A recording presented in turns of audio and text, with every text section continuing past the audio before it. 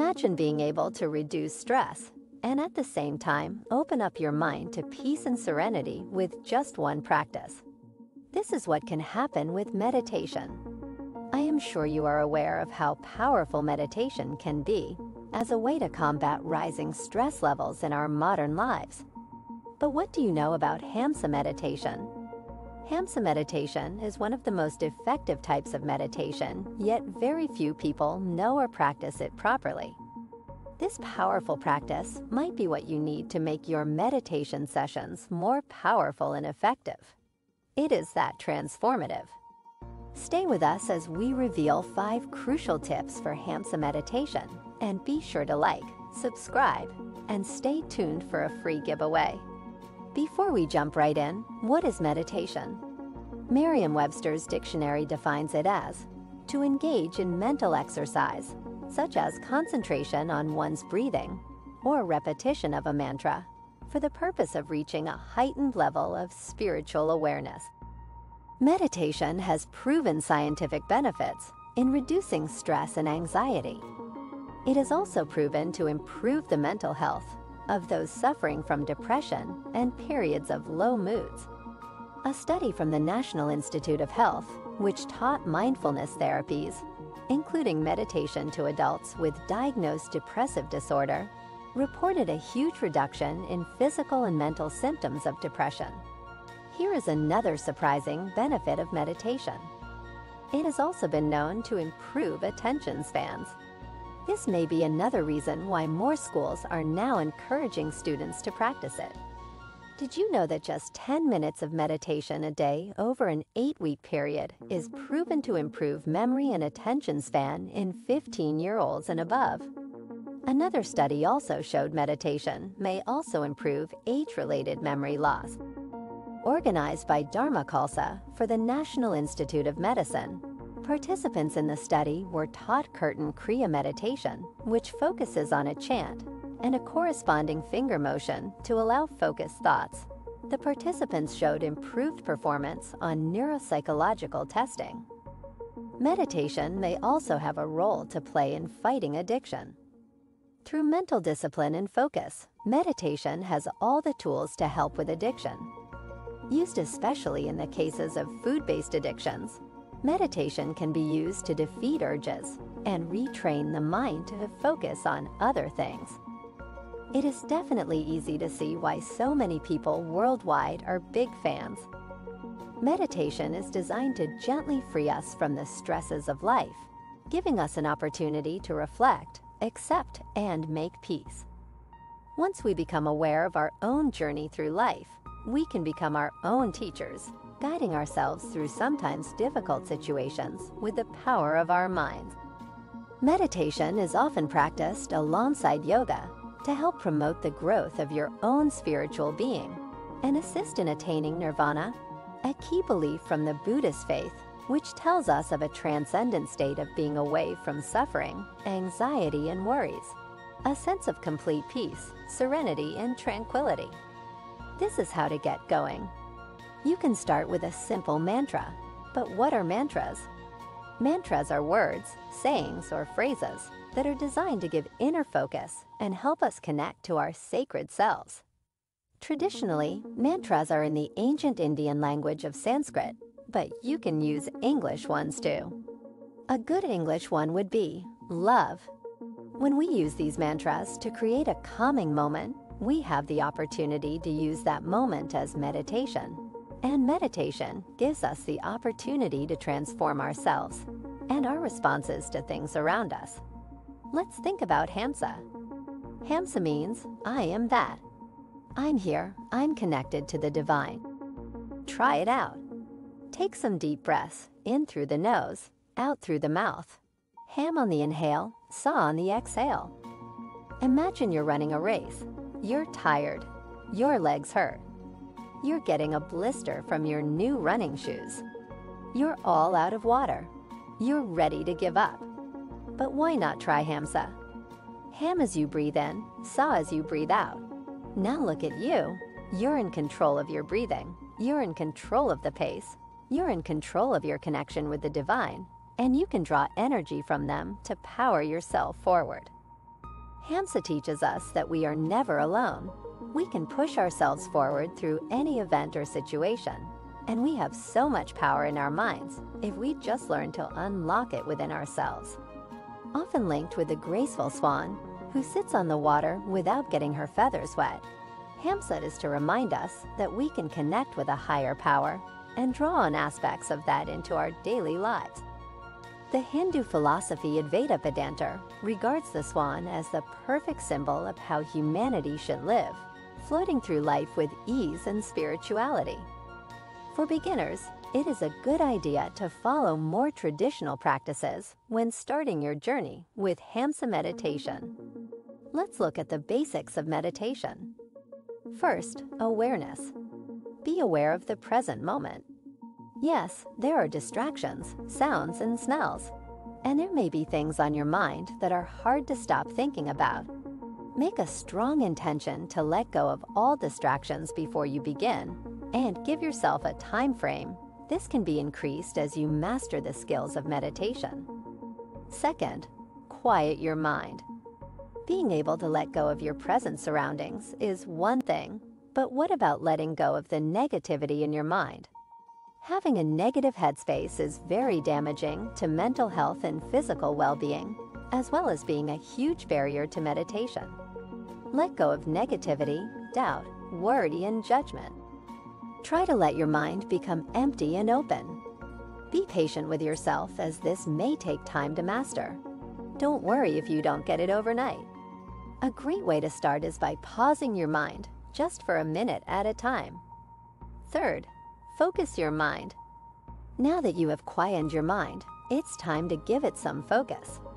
Using mantras is a simple way to get that focal point. Inhale and exhale deeply whilst chanting or breathing your mantra. Breathe in peace and calmness, breathe out negativity and fear. Fourth, acknowledgement through the path of meditation, we can learn to acknowledge our true selves. We will learn our thought patterns, our mental processes, which parts of ourselves we love, and which parts we like a little less. Accept yourself in all your forms and make the intention to work on the things you dislike. And fifth, be open. Remember to be open to the transformation that will take place within you once you start connecting to higher consciousness. You will feel different, enlightened, motivated, at peace, and more accepting. You can use this in your everyday life to benefit yourself and others, as well as improve your physical and mental health. Before we continue, we would like to give you a free gift of our book, The Ultimate Manifestation Guide. Inside the book, you will discover 15 secrets to help you manifest your dream life faster. Here at Mindset Flow, we are committed to helping you live your best and most fulfilling life. So get your free digital copy today by simply clicking the link in the description. Let's continue on. Here is a short guide to up-leveling your Hamsa meditation. Find a comfortable place on the floor where you won't be disturbed. Spread out a comfortable blanket and sit in the lotus position. You should make sure that your spine is straight and you have opened your chest in order to take proper deep breaths.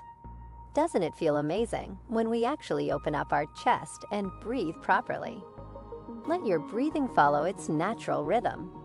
Don't try and force a specific pattern or speed of breathing. This will require too much focus. And all you should be focusing on now is connecting to a higher consciousness. Close your eyes and let your breathing flow naturally and peacefully.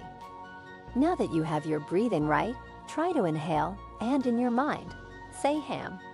When you exhale, release with sa. Your voice should be barely audible. You should be breathing the words, not directly speaking them. On inhaling, make sure your chest is open and you breathe into your diaphragm, filling your lungs to capacity. As you exhale, expel the breath with a calm and focused force using your stomach to push out the air. This will become a calming pattern after a few breaths. Imagine a circle of light around you, enveloping you in a bubble of peace and serenity. Any physical tension you have carried over the past few days, weeks, or even months will gradually leave your body as you breathe in and out. Meditation can look many different ways. You might not have any idea that someone is meditating. Meditation can be highly personal, or it can follow a more uniform approach. For Hamsa meditation, we recommend you form a mudra with your hands. Mudra is a traditional hand position adopted by yogis, which is essentially yoga for the hands. Here are two mudras which you can try. First, the Chin Mudra. This mudra is rooted in Hinduism and is usually what pops into your mind when you think of traditional meditation or yoga. Place your hand on each respective thigh, form an O with your thumb and index fingers, and extend the rest of your fingers outwards. Straighten your arms, but keep your chest forward.